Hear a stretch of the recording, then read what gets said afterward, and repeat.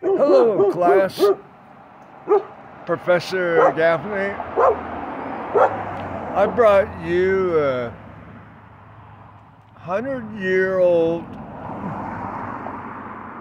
bushy tail juniper and some carving on this. As you can see, my friend has done some quite a good work on this. And this will be a staining project, not a painting project.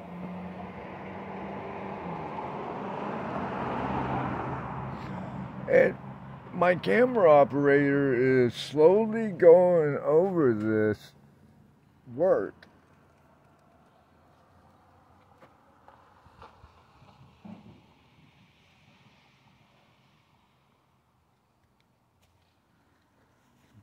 And what I have to say to you, class and Professor Gaffney, is say hello to my little friend the thunder lizard.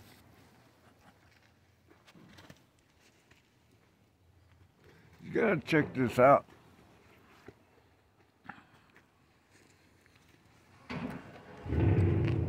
I have been painting for over 45 years, and this is my first attempt. It's it's my first opportunity to do a project like this one.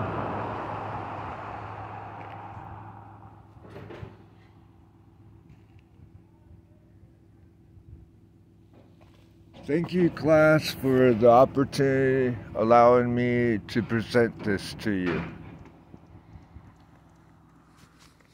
Click.